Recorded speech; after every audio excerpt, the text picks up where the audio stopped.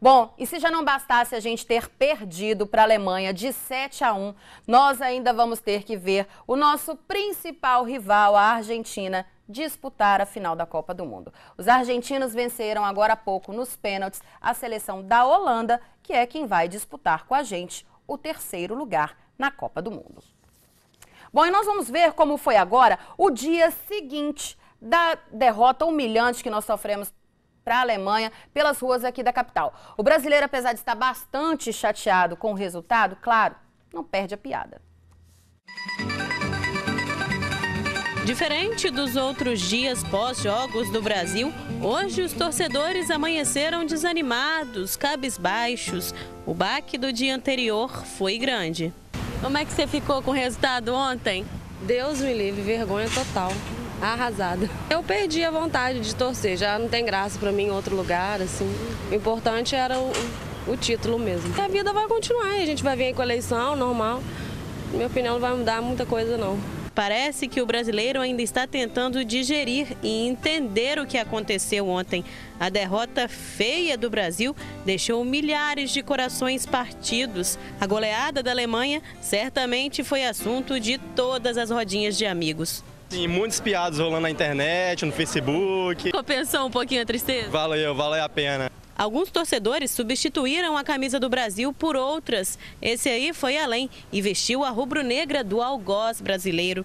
A derrota realmente decepcionou quem esperava mais, como o Ari Osvaldo, 70 anos e nunca viu a seleção canarinho perder tão feio assim. Nunca vi, não. Já perdeu já algumas, né? Mas demais assim, ah, isso é, é, incrível, né? Muito feio.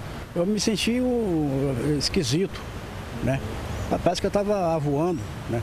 É, ontem a Alemanha jogou o Brasil para escanteio. Foi a pior derrota da história, a maior em 100 anos. O Brasil levou cinco gols em menos de 30 minutos de partida. E no final, uma goleada de 7 a 1 da Alemanha, em pleno país do futebol. Não seria cômico se não fosse trágico? Na internet, o choro virou riso nas milhares de montagens que foram surgindo durante e depois do jogo. Uma enxurrada de piadas e ironias circulou pela rede, sinal de que o brasileiro é bem-humorado até nas horas mais difíceis. E tem gente que, mesmo nessas horas, honra a camisa. Enquanto estiver valendo a Copa, está valendo a camisa. O jogo é para ganhar e perder. Entrou no jogo, ganhou, perdeu. O Brasil jogou nada mesmo, mas paciência, né? Vai deixar de torcer pelo Brasil. Não vai deixar de torcer por causa disso? Não, de jeito nenhum. Eu não. Tô pensando nas criancinhas que torceram tanto, que enfeitaram rua, que vestiram a camisinha deles ali, torcendo o Brasil aqui no nosso país a primeira vez. Aí os camaradas fazem aquele vexame lá, entendeu? Essas crianças aí resolveram espantar a tristeza jogando futebol. O Neymar daqui faz gol e o goleiro não deixa a bola passar. Será por quê? Porque eu sou nóia. É, agora as crianças talvez procurem outras referências. Com a bola nos pés, os craques da Ilha de Santa Maria, em Vitória, mantêm a tradição brasileira e renovam as esperanças de quem dormiu e acordou desiludido.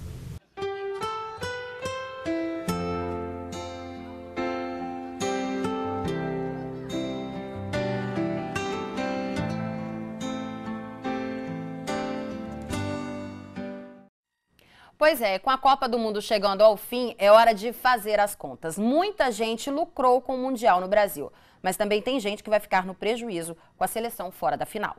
Nas lojas de aviamentos, as prateleiras ficaram vazias uma semana mais cedo do que o esperado e os produtos verde e amarelo logo foram substituídos pelo colorido da festa junina.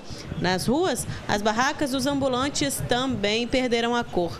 Foi forte a ressaca do comércio depois da goleada da Alemanha em cima do Brasil. A gente está aqui na pracinha do centro de Vila Velha, um local de bastante concentração de ambulantes. A moça que vendia produtos de Copa, que ficava aqui com a derrota de ontem, nem apareceu. A barraca do seu Antônio, que até ontem ficava coberta de produtos verde e amarelo, hoje está assim, só tem bolsa. O seu Antônio investiu 3 mil reais em camisas, cornetas, bonés, tudo do Brasil. Agora está no prejuízo com a derrota dessa de 7 a 1 ninguém mais ia procurar as camisas, né? Uhum. Então isso aí, agora vamos ficar com prejuízo, né? Porque não tem como passar. Na central de aviamentos, o que sobrou ainda não entrou em promoção.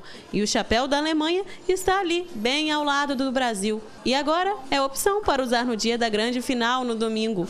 Apesar da derrota do Brasil, o gerente da loja não tem do que reclamar.